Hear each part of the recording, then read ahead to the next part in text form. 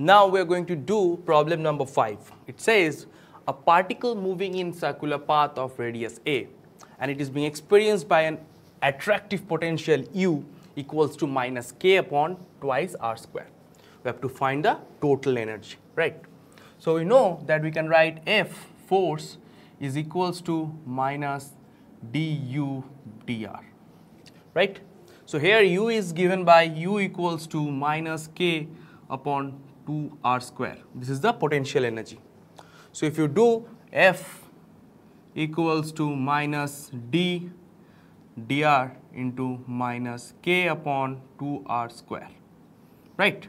So this force will be equals to, this minus will cancel, k will come, k by 2 will come out and it will be equals to minus 2 divided by r cube, alright.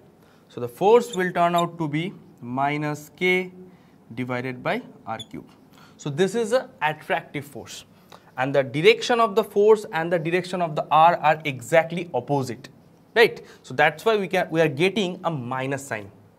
Now this force must be provided the required force must be provided by the centripetal force. So we can equate centripetal force is equals to force of attraction right? Centripetal force is what? Mv square upon r is equals to k upon r cube right?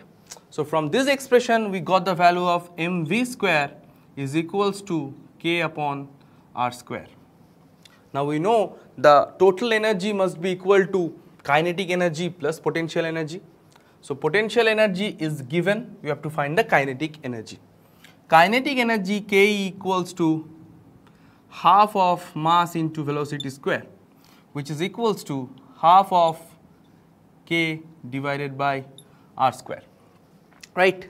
So, and potential energy is already given. That is minus k by 2 r square. Okay. So, total energy will be equals to kinetic energy plus potential energy that is k upon 2 r square minus k upon 2 r square and it will be 0. So, the correct option is option 1. Explore more about the topics you love with Toppr. Subscribe now and keep learning.